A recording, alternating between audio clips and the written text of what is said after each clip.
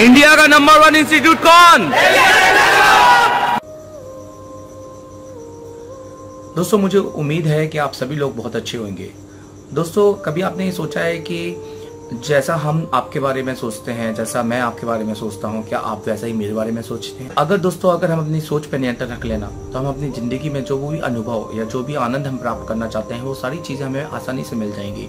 और इसी बात को समझाने के लिए एक छोटी सी स्टोरी मैं आपके साथ शेयर करना चाहता हूँ कि एक राजा अपने मंत्री के साथ अपने राज्य का भ्रमण करने निकला और दुकानदार के सामने जब निकल रहा, दुकानदार के सामने जैसे वो निकला तो उसने मंत्री को बोला कि इसको अगले दिन फांसी दे दो।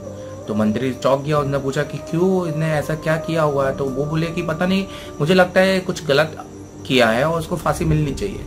तो मंत्री ने सोचा, क्यों ना इसको एक बार परख लिया जाए कि अगर राजा ने फांसी दी है तो कुछ गलत तो किया नहीं होगा। तो अगले दिन वो भेज बदल के काम इंसान बन गया, उसकी दुकान पे पहुँचा, क्योंकि वो लकड़ी को बिज़नेस क्योंकि वो लकड़ियों का व्यापार करता था तो उसने पूछा, और भाई, कैसा चल रहा है? तो दुकानदार ने उसको जवाब दिया कि, सब कुछ बहुत बुरा चल रहा है, मेरी तो कोई लकड़ियाँ नहीं खरीद रहा है। लोग आते हैं, पसंद करते हैं, पर उसके बाद भी नहीं खरीदते हैं। चलो, अब राजा मेरे को मारने की सजा दे दी है तो उसके बाद कहीं ना कहीं मेरी लकड़ी बिकी जाएगी। तो ये सुनकर मंत्री सब कुछ समझ गया कि उस दुकानदार की जो नकारात्मक ऊर्जा थी, जो उसके अंदर थी और जैसे ही राजा उसके सामने पहुँचे, वही ऊर्जा राजा के सामने चली गई और राजा ने उसको फांसी की सजा दे दी। तो मंत्री ने उसकी, उससे कुछ चंदन की लकड़ियाँ खरीद के, और मंत्री ने वो लकड़ी खरीदने के बाद महल चला गया। और महल जाने के उसने राजा से बोला कि, राजा जी, आपने जिस आदमी को मरने की सजा दी थी फांसी की लटकने की सजा दी थी, उसने आपको एक तोहफा दिया हुआ है।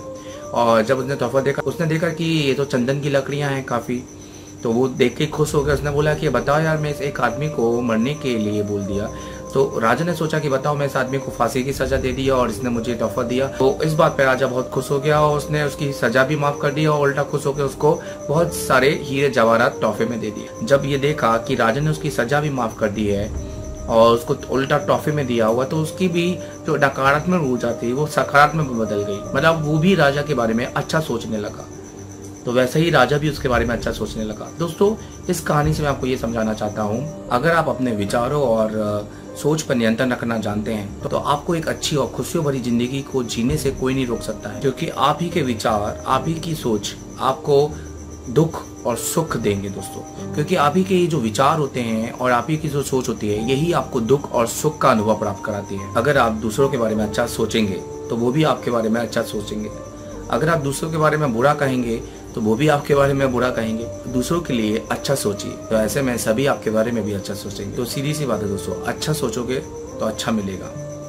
इस वीडियो को सब्सक्राइब कीजिए, इस चैनल को सब्सक्राइब कीजिए। वीडियो को लाइक कर सकते हैं, आप शेयर कर सकते हैं। पसंद आए तो कमेंट कीजिए और नहीं पसंद आए तो डिसलाइक भी कीजिए दोस्तों। Thank you very much.